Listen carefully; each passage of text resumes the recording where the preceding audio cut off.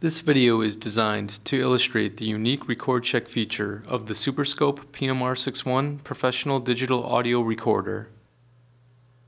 In addition to being designed for ease of use with four simple top panel buttons, the PMR61 incorporates Record Check, a revolutionary feature that allows both novice and experienced operators to achieve professional sounding recordings with smart and simple operation. Setting up audio recorders has become increasingly more difficult as technology has advanced. Correct input selection, input gain adjustments, and setting proper record levels are paramount in achieving desired results. If set incorrectly, recordings can be hard to understand or even worse, be lost. Superscope's PMR61 can eliminate these problems with built-in record check and auto input detection. Whether it's external microphones and or a line source, PMR's auto input detection automatically senses multiple input sources, eliminating the need to set each input manually, thus reducing the risk of error. By pressing the info icon, a summary of the detected input sources is displayed for confirmation. PMR's record check is an automated process that determines appropriate audio level settings for each detected input source.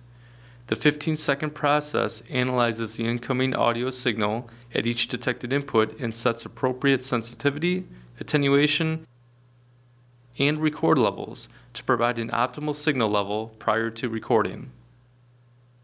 In this example, we are going to utilize PMR's internal stereo condenser microphones using incorrect level settings to demonstrate the power and simple operation of the record check feature.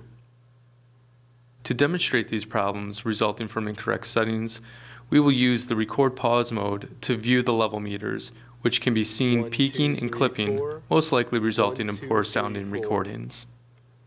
At this point, two, the user can two, use the PMR61 to make manual adjustments to correct the input and record levels, or alternatively, use Record Check to automatically correct all level settings. By returning to the home screen, you will find the Record Check icon, and by touching this icon, the automated record check process begins. 13, 12, In the first few 11, seconds, Record Check analyzes the audio at each detected input and sets appropriate mic sensitivity and attenuation. Next, input levels and master record level are determined and set. And in the final seconds, a test file is recorded for evaluation and confirmation. Please note that during the 15 second process, it is important to provide a normal sound level to all input sources that will be utilized during the recording process, as the PMR sets independent level for each source location. After record check is completed, this screen will report the new settings and allow you to audibly confirm the quality of your test recording.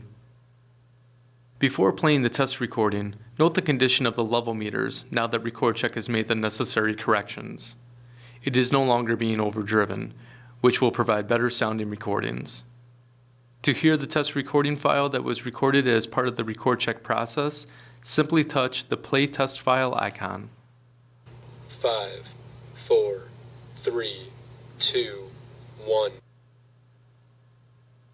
Room dimensions, acoustics, size of the conference table, number of meeting participants, and microphone placement all vary considerably by application often requiring different level settings.